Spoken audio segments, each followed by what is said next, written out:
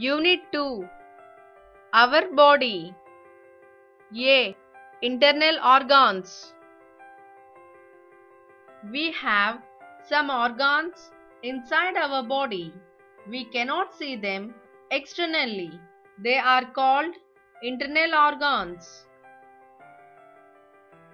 Brain The brain is inside our head.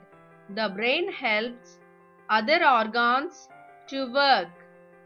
It helps us to think and remember. Heart The heart is situated on the left side of our chest. The heart pumps blood to all the parts of our body. Normally, heart beats 72 times per minute.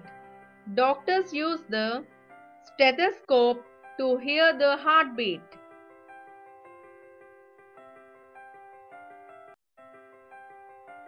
Lungs We have two lungs inside our chest.